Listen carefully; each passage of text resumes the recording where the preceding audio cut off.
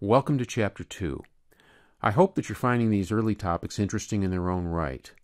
My goal is that by the time we get to quantum algorithms, the math will feel so natural that you won't even be making a distinction between it and the computer science. Don't forget, at the bottom of these web pages, you'll find customized reading options based on your unique background. Last time, we checked off the box called Complex Arithmetic. So although we still don't know what a qubit is, we at least know that the two Greek letters alpha and beta stand for complex numbers, and we know how to manipulate those creatures when the time comes. Now that may be of little consolation to you, since in this strange conglomeration of symbols that I'm calling a qubit, alpha and beta are standing right next to some bizarre constructs that look like sideways houses containing a zero and a one. There's one more sideways house on the left hand side, and that one contains a third Greek letter, psi.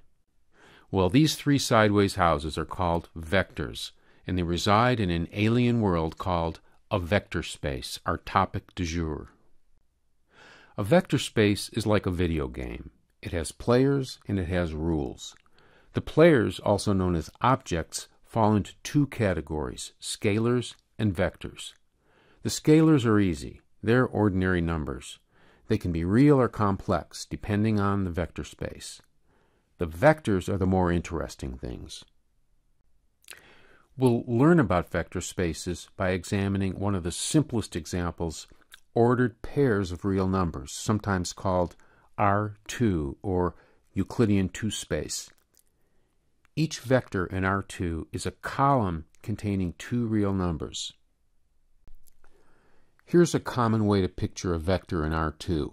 It's an arrow, always anchored at the origin of our xy coordinate system, and it has a certain direction and length.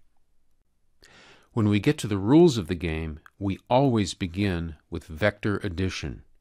We'll look at that both algebraically and geometrically. Another rule is one that requires that we describe how one multiplies a vector by a scalar. This action is called scalar multiplication. A picture really helps here because it explains the term scalar. The effect is to scale up or scale down the vector that's being multiplied by the scalar. The rules I outlined so far are standard equipment, kind of like the engine or the speedometer. But some equipment is optional. Leather seats or a heated steering wheel those are available only in certain vector spaces. The most popular option for buyers in the market for a vector space is the dot product, often called an inner product. We're going to always want that feature, so we'll order that option on all the vector spaces we study. Once you learn what a dot product is, I can show you how it's used to measure the lengths of vectors. Dot products give us a second concept too this one called orthogonality. We'll learn what it means for two vectors to be orthogonal and get a visual for this idea that suggests orthogonality is closely related to the property of being perpendicular.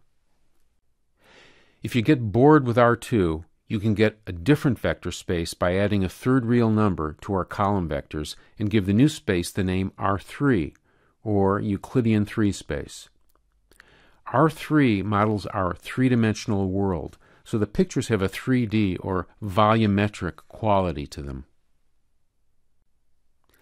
But the vector space upon which all of quantum computing is built is called C2, the ordered pairs of complex numbers. C2 scalars happen to be complex rather than the real scalars of R2. We'll have an entire chapter devoted to C2, Every qubit's value lives in this unusual vector space. I suspect that some of you might be here because you've heard about the term quantum entanglement, a way in which two qubits can become connected even when they're separated by vast distances. Guess what? Mathematically, quantum entanglement is no more than a basic vector concept that you'll learn today called linear combination, or as physicists like to call it, superposition.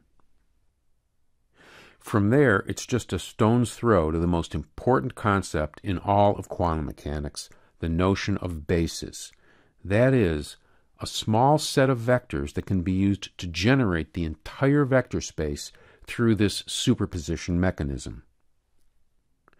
The most familiar basis for R2 is made up of the two vectors 1, 0 and 0, 1, also called x hat and y hat. We'll refer to them as the natural or preferred basis, and I'll show you how any vector in R2 can be expressed as a linear combination of x hat and y hat. In order for a set of vectors to be a basis, they have to satisfy two conditions. First, that they be linearly independent, and second, that they span the space. You may not know what those terms mean now, but you will in about an hour, and I'll show you how to test for those conditions. We'll look at other R2 bases besides x hat and y hat. Here's one that I picked more or less at random and named script B. We could use script B instead of the natural basis to express any vector in R2. And here's a third one that I named script C. We'll also learn that the number of basis vectors determines the so-called dimension of the space. R2 is two-dimensional because every basis has two vectors. Expressing vectors in terms of a particular basis, like the natural basis or the B basis, is called expanding the vector along that basis. If a basis is of a certain type that goes by the fancy name orthonormal basis, there's a very neat trick I can teach you to quickly compute the expansion coefficients along that basis. In quantum physics, most of the bases we encounter will be orthonormal, especially in this first course, so we'll get to use that trick a lot. In case you're wondering how all this relates to quantum algorithms, we'll be looking at the output qubits that our circuits produce, and we'll direct the hardware to measure those outputs with respect to some alternate basis, the choice of which depends on the algorithm.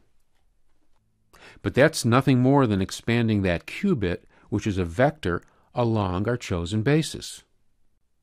Well, that's a lot of scary vocabulary which I have yet to define, but we'll have several weeks in which to become experts. There's a lot more I could say, but my time's up and I know you want to dig in.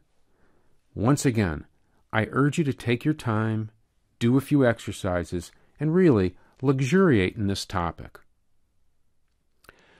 I don't want to scare you, but this might be the most important chapter in the course.